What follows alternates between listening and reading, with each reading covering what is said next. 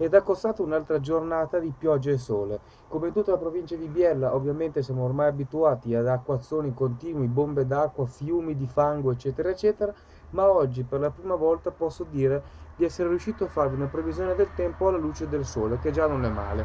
E allora per la prima volta vi posso far vedere come le nuvole che hanno appena scaricato enesimamente acqua sulle nostre carissime terre, che ormai sono zuppe, adesso si stiano stranamente dileguando e lasciano posto a questo sole che ora accecherà le cornee di molti. Ecco, vedete come ovviamente ci sono ancora i segni della, della battaglia, tutto ancora bagnato, ma ormai a Biella questa è più un'abitudine che, una, che un qualcosa di diverso dal normale.